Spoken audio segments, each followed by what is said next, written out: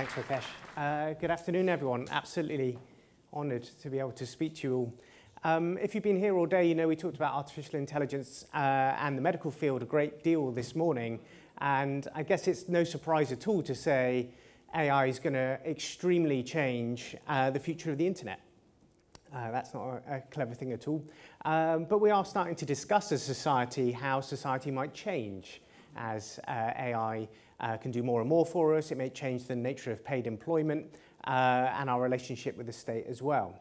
But let's take a few minutes to also talk about how we think digital criminals might use AI to, to really further their aims. And this is going to be imagination about the future, but I think it's all realistic, um, if you want to bear that in mind. And I understand there are some investors in the audience, so um, consider this my thesis on a new organization. Um, I think it has high returns potential, so if you're interested afterwards, see me afterwards and uh, just not in front of the TV cameras. Uh, better not accumulate the evidence straight away. But to get into it, sometimes when uh, reading the newspapers, we feel that cybersecurity never makes any progress whatsoever. Uh, but actually, by and large, aside for the occasional critical and short-lived vulnerability, we are at least past the days where you could sit in your bedroom and just simply hack your way through the firewalls and the defenses of most organizations, if they're at least um, doing okay at keeping up with modern security practices. And uh, actually today it's true, and I think it'll be true in the future, that we've got more to worry about from imposters, imposters that are able to trick employees into inadvisable actions than we do from the cliche of someone punching their way through the, through the firewall. In fact, we know it must be dying off because it rarely happens in the movies anymore, so uh, it's got to be true. But of course, we're never going to get rid of people. There are always going to be people uh, looking after our nuclear power stations and our secure cloud services and our online banking solutions. So um, it is useful to think about how that might continue to be targeted. This is a genuinely malicious email sent to me. Um, probably most of you will recognize it as, as spam. Um, I'm pretty particular about professional grammar and formatting, and this doesn't really feel super great.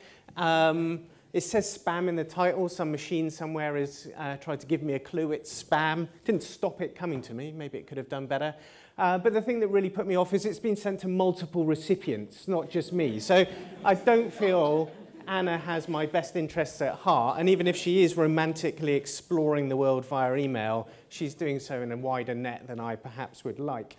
Um, but human intelligence-enabled attacks are, are also becoming increasingly more common, where someone's willing to invest the resources. This is also a malicious email sent to me. Um, it appears to come from someone I know, uh, someone I know reasonably well. Most of it's pretty accurate in the nature of things that are going on it. There's a couple of typos in the signature, but I didn't notice that till much later on. Um, creepily, this is based on a conversation that Matt and I had while walking from the front door of my office to the coffee shop down the road to get a sandwich at lunchtime. So it would appear someone was hanging around our offices and targeting a group of us, all of whom have relatively public profiles with the company. So that's a bit weird and it creeped me out, but I immediately knew this was fake not just because I'll be enabling macros over my cold, dead body, um, although you really shouldn't. Um, this is far too polite. This isn't how Matt sends emails to me. I knew immediately this was bogus. I certainly wasn't clicking on the, um, uh, on the attachment. And actually, I think whoever the creep was outside sucked a little bit because when I had this conversation walking to the coffee shop, I was holding my Mac laptop and the attack that was built into the, uh, the attached email was from a Windows laptop. So they weren't paying quite as much attention as they should have. However, in many other circumstances, this would have been enough to catch me out, certainly if it was someone I know slightly less well than Matt. So it is worth thinking about. But these things are expensive to do for criminal groups. Why invest all that time crafting something to try and get in? And I think what is going to change uh, is how AI is going to participate more in um, what we in the community call spear phishing attacks. Let me give an example. Imagine a piece of malware on your laptop that, however it gets there, it now has the ability to read your emails, read your calendar, read your WhatsApp and your Slack and everything else that's in there. Now imagine that it can uh, not just read that material, but understand it and start to train itself on how you differently communicate with different people in your professional life. it would then be able to contextually start emailing or messaging the other people in your life while purporting to be you in an attempt to try and trick them into opening an attachment. Maybe it's your laptop that's been infected and we have a diary appointment between us. Perhaps it sends me an email with, says, Dave, here's a map of where we're going to meet. Uh, look forward to seeing you there. Maybe we've been editing a document back and forth. One more tiny edit, add a malicious payload, and send it to me. Will I open those emails? Of course they will. Be, I will, because they're going to be contextually relevant and they're going to sound like you, unlike the example we saw a minute ago. And this is surprisingly effective. Whether we have a formal relationship, an informal relationship, whether we talk about, whether we joke or talk about football or Game of Thrones really doesn't matter. And from a technical perspective, this is going to come from your real device via your real mail accounts into your real servers and then all the way through the, the same for me as well. Very difficult to think about blocking that. And I do think this is the sort of thing that's going to start exploding across supply chains and our social graphs. If you want to go after a hard target like a global bank or someone particular in there, or a specific celebrity, as celebrities are increasingly being targeted, this may well be the best way of doing it. And I'd like to give an example that backs up why I think we're making progress in this regard. There is a company called X.AI, some of them, you may be using it, that gives you a calendar assistant that you call Amy, or I think Adam is the, uh, the other version of it. It's pretty cool. The people behind the technology are pretty cool. And what it allows you to do is things like this. Mary emails Greg, says, can we meet for a coffee? Greg replies, says, sure. CC's in the AI and says, Amy, find 30 minutes for a coffee at my office. Amy understands that. She also understands his diary, when he's going to be in the office and when he's free, offers up some time slots. Mary replies, I can do some, I can't do others.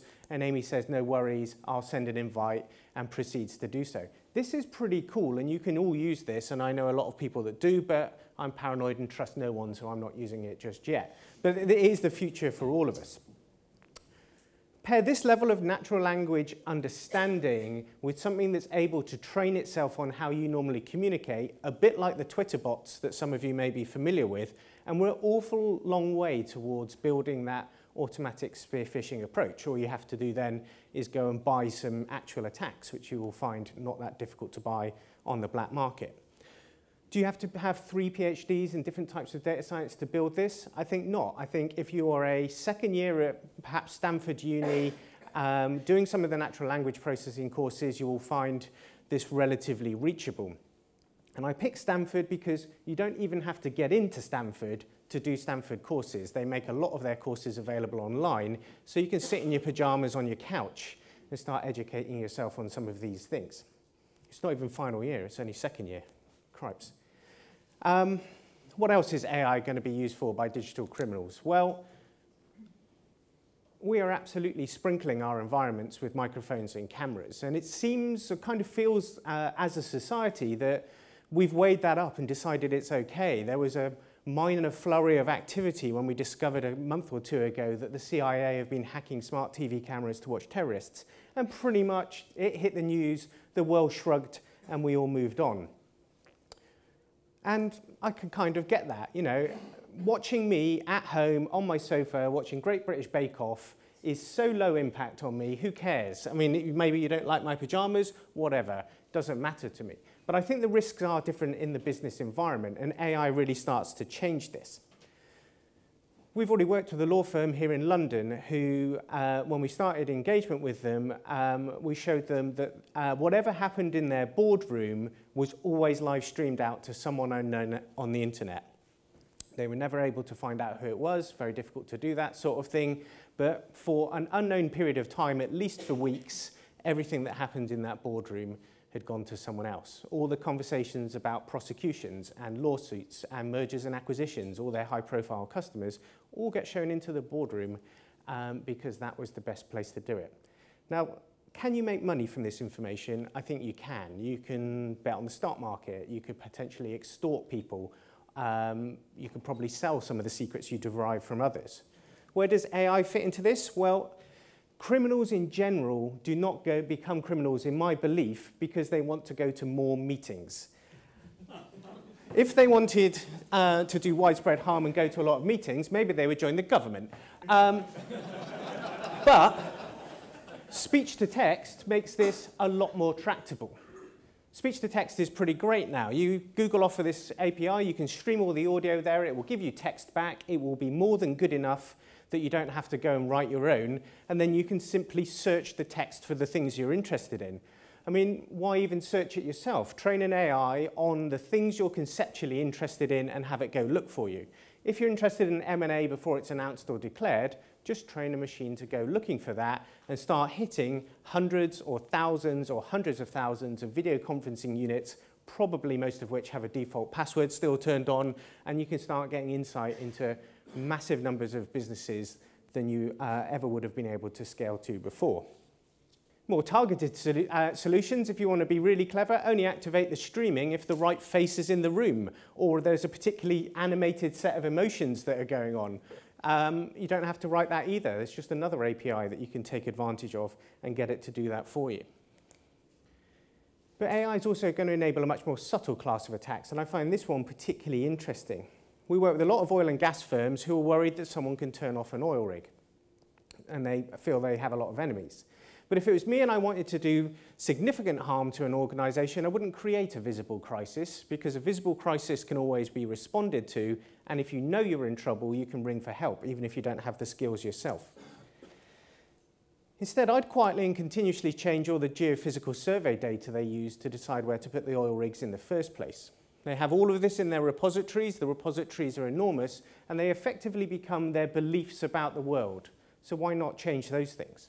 It might take longer to do more harm to the company, uh, to do any harm to the company, sorry, but I think it would be more costly and more damaging.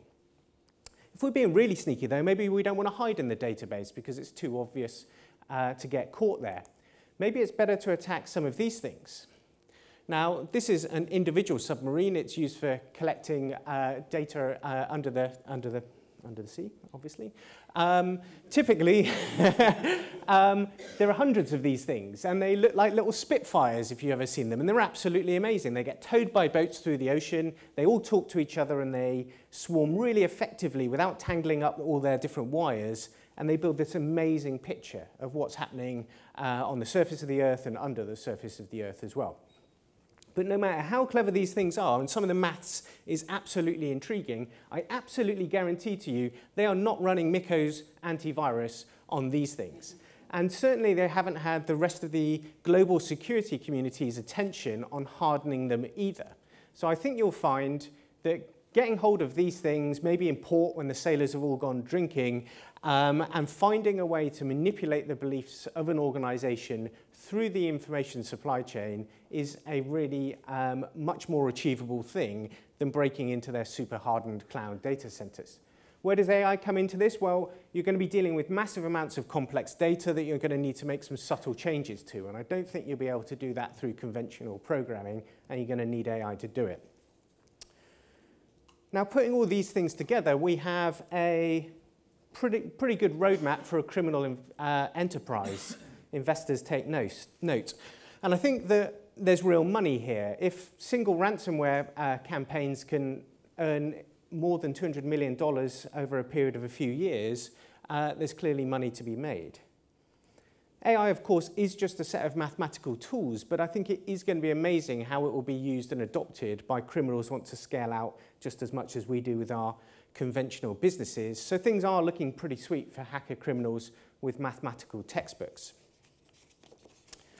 I started this research about a year ago, and at the time, I believed all of this was future, but so much has changed in the data science space in the last year that actually I believe that all of these things that we've discussed are implementable today. There are some other things that we found in our research that's probably further away, but I believe all of these things are things that we, we could actually build right now.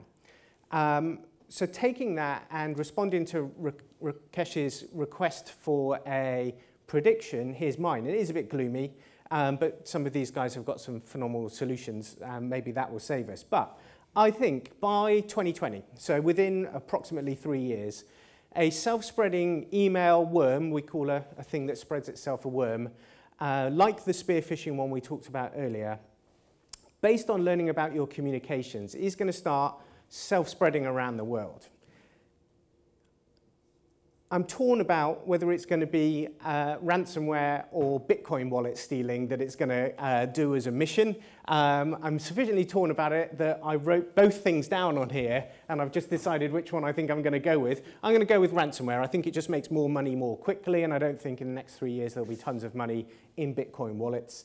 Um, I want to be really specific. I'm not going to name any countries, but I definitely think this is going to be launched by someone who is in an economy that is under strict sanctions. And the reason why I'm not, and that's, you might all be leaping to conclusions. That is a few different countries at the moment. But the reason why I think it will be an organization that's excluded from the normal functioning of the global economy is you don't care about the normal global economy and launching an attack like this if you're not, about, uh, if you're not allowed to participate in it. I don't think anyone will actually ever spend the bitcoins or the ransom that they will make. I think it will just lie there for years and um, we will all watch to see what happens with it. Well, the, the, the cyber geeks will. The rest of the business, uh, the rest of the world, sorry, will not be focused on that. They're going to have their head in their hands as they discover that all the backups that they thought they'd been taking for year after year haven't worked. And I think that's the reality of how some of these things are going to go. I don't think there are going to be Armageddons, but I think there are going to be lots of hiccups along the way that hit us at large scale, like the WannaCry did, and it's going to feel really painful because we've been shown not to be doing some of the basics we really ought to. So my one takeaway, and then I will shut up, is when you go home this weekend, maybe think about your own backups because these sorts of techniques will hit indiscriminate consumers as much as they will businesses. If you're not backing up your smartphones, if you never got around to backing up your laptop and all your family photos, maybe do it now and maybe in six months or 18 months do it again because if we don't start doing some of these things, then some of these things are going to catch us out and it will be a bit of a painful experience for all of us. Thank you very much for welcoming.